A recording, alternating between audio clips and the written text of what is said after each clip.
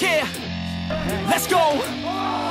I'm unstoppable, do the impossible. I'm irresponsible, yet I'm phenomenal. I got an arsenal, I'm dropping bombs, you know. No, I'm not stopping. This is the UFC Vegas 3 complete results. Lightweight up-and-comer Austin Hubbard was patient in his bout with Max Rohskopf, biding his time until a second round defensive burst led to a TKO victory. Rohskopf went right for the takedown to start round 2 and he got it, but again, it was Hubbard quickly rising to his feet, and as the newcomer tired, Thub began landing more and more, jarring his foe midway through the frame while marking his face up with strikes. The continued barrage, coupled with the fatigue, apparently did the job for Hubbard, as Rohskopf was unable to come out of his corner for the final round. With the win, Denver's Hubbard moves to 12 and 4, while Rohskopf, who took the fight on short notice, replacing Joe Solecki, falls to 5 and 1. Flyweight contender Lauren Murphy extended her winning streak to 3 with a 3-round unanimous decision over Roxanne Modafferi. Murphy wobbled Modafferi with a right hand early in round 2, and while the Las Vegan got her legs back, Murphy's confidence grew.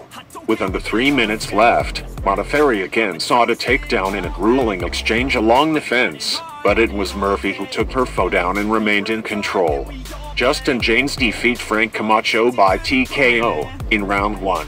Making his UFC debut on less than a week's notice, Justin Jaynes wasted no time making an impression in lightweight action, as he halted veteran Frank Camacho in less than a minute. On the attack from the start, Las Vegas Jaynes went right after Camacho, and 30 seconds in, he scored a knockdown with a left hand. Camacho tried to recover, but the relentless attack of Jaynes was too much, with the final right hand bringing in referee Herb Dean to stop the fight 41 seconds into round 1. With the win, Jaynes, who replaced Matt Frevola, moves to 16 and 4. Camacho, who missed weight at 158 pounds, falls to 22 and 9. In women's division, Jillian Robertson defeats Cortney Casey by submission, rear naked choke, in round 3.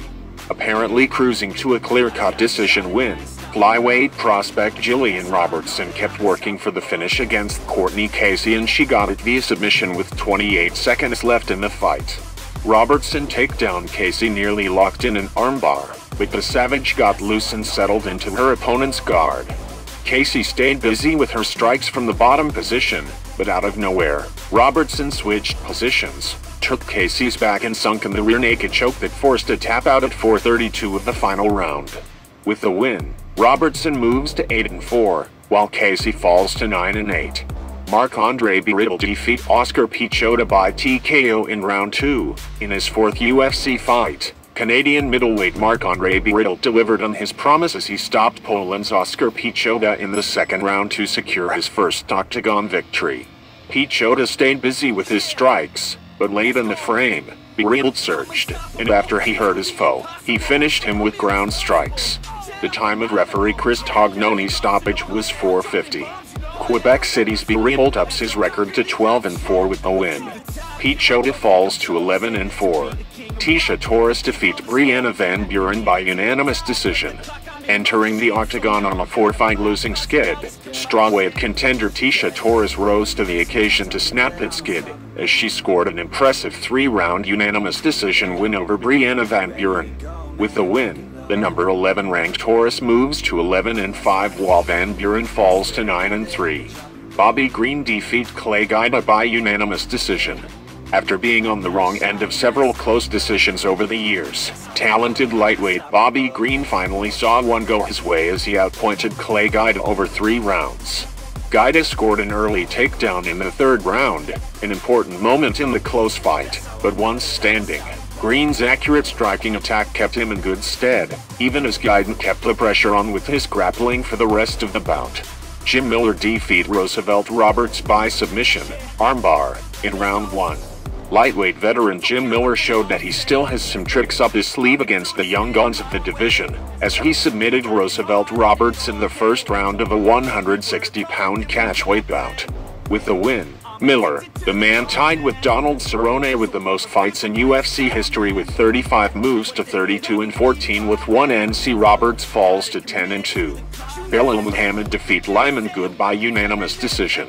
Belal Muhammad made in three wins in a row as he scored a unanimous decision over Lyman Good in an exciting welterweight contest.